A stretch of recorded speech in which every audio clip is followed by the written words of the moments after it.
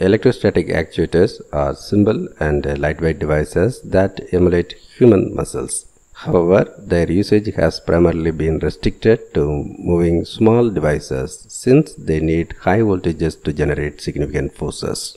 Now, however, it may be possible to use electrostatic actuators in artificial muscles thanks to research from Tokyo Institute of Technology that made use of ferroelectric materials to create an electrostatic actuator that can generate a strong force at a low driving voltage. Electrostatic actuators are devices that use electric fields to move objects. These devices consist of two oppositely charged electrodes that generate a force whenever an electric field develops between them. By altering the shape of their electrodes and filling the gap between them with flexible soft materials, Various configurations for electrostatic actuators have been developed in which the force can emulate that of operating muscles. The force generated by electrostatic actuators depends on the voltage applied to their electrodes and the charges accumulated at the interface between the electrodes and the dielectric material. Therefore, to generate sufficient forces to support human movement and activities, these devices have to be supplied with a large voltage which can be hazardous to the body.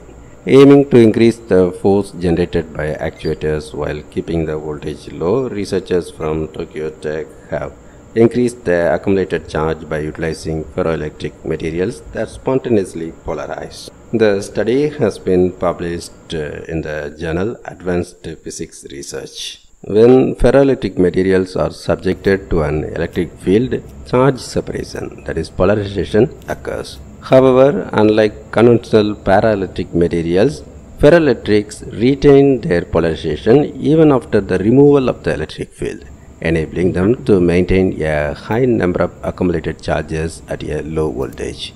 Furthermore, since the polarization of ferroelectric materials is independent of the voltage, the generated force is linearly proportional to the applied voltage.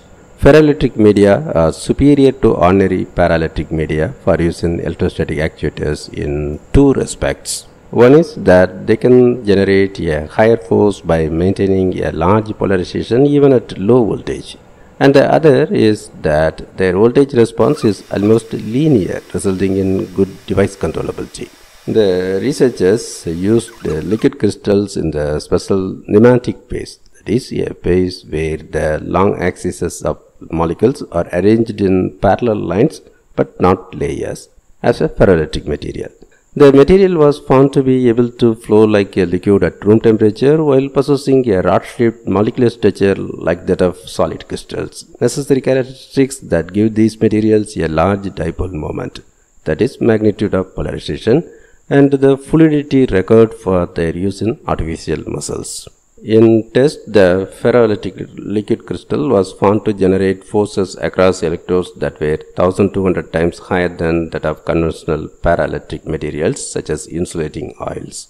With the ferroelectric liquid crystals and a 3D printed double helical coil electrode, the researchers developed an electrostatic actuator capable of producing contraction and expansion like muscles would at low voltages. Visual observation showed that the device moves when a voltage of 20 volts is applied. This means that even a dry cell battery can power the present actuator. These findings demonstrate that ferroelectric materials with spontaneous polarization are promising for developing electrostatic actuators suitable for artificial muscles.